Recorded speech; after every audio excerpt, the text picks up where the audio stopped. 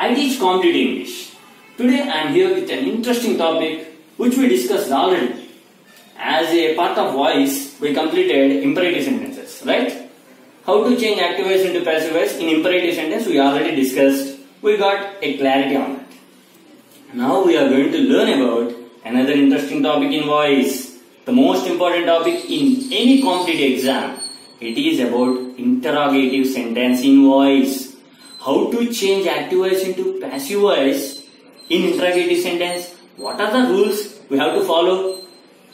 What is the easy method that we can find out the answer, especially in exam? We'll get four options there. Let us know what are the things that we are going to learn today. Let me tell you one thing. While I am saying anything, please make a note on a paper on your notes. Okay? It will be a good reference to you. Okay? Please subscribe my channel to get more information from me. If you like my video, please share it to your friends who are preparing like you. Okay? Let us see. What is the meaning of interrogative sentence? By seeing this question mark, you have to decide that it is interrogative. Okay? Does she write a letter? First, we have to observe which tense it is. By seeing does, simply you have to decide it comes under simple present. Which tense it is? Simple present. In simple present, V1 is the verb form in question. Then what about answer? In the sense positive sentence. V5, V1 plus S can be treated as V5. Now, we have to answer this question first. She writes a letter. Actually, is this the answer? No. It is just answer for this question. Now we have to change this sentence into passive form.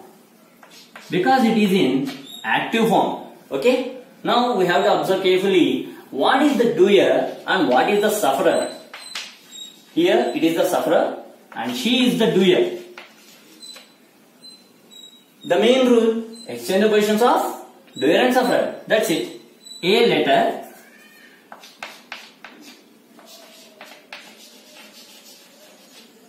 A letter writes V5. A letter, what is the rule we have to follow? Is, are, am plus V3. A letter is written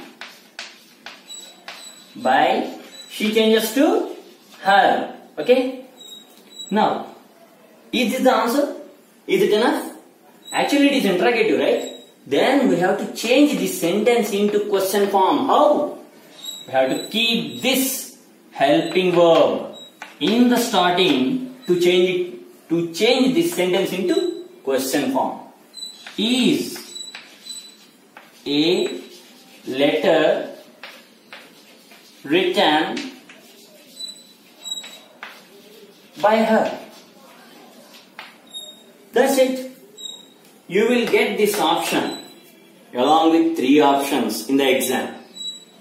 Okay? Let us see another example in interrogative sentence. How to change this question, this sentence. I mean, it is an active voice. What is the passive form of this sentence? Okay. Did he buy a book? Did he buy a book?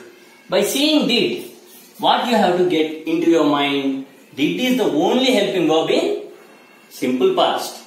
In simple past. In the sense, we have to answer this question in simple past in this way.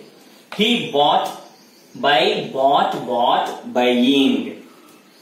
He bought a book. Okay. A book is the sufferer, he is the doer. Okay. A book is referring to singular. Okay. A book was a verb plus V3 is the rule for simple past in voice. Okay. A book was bought by he changes to him. Now we have to change this into question in this way. Was a book bought by him? We have to end with question mark. Okay. In the previous example also, we did the same thing. Okay. We have completed with helping verbs. Now we are going to learn about WH words, how to change them. With WH word. In the sense, in interrogative sentence already we discussed about helping verbs.